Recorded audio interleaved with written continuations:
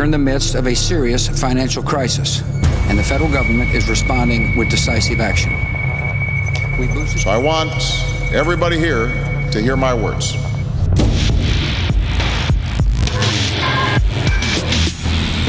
This involves the biggest interest rate cuts in history, the biggest fiscal stimulus we have ever seen. Crisis will happen again, but it will be different.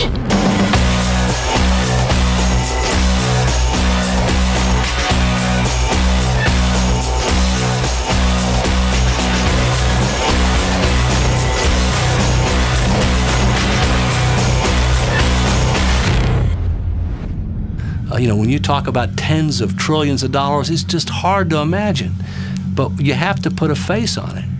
And to me, I put my children's and my grandchildren's face on it. It's their future that we're mortgaging.